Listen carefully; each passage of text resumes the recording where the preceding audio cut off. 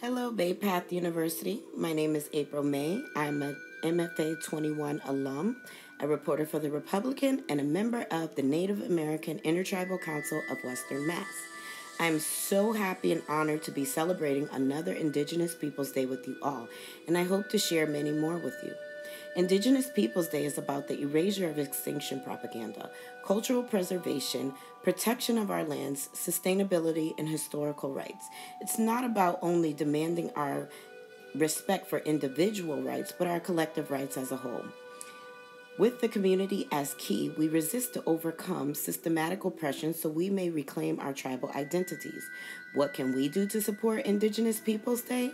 We can find a local call to action, support local group events that the Native American Intertribal Council has, sign petitions for land back, donate to tribes without running water, and much more.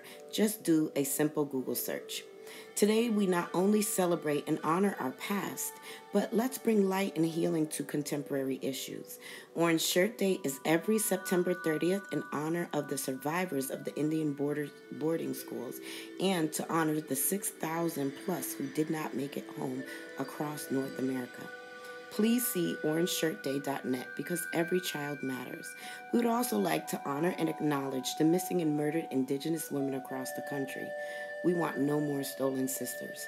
506 cases span across 71 cities, 128 missing, 280 murdered, and 98 unknown. Think it doesn't happen here? Jalea, a member of the Mashpee Wampanoag tribe, remains were found in Florida.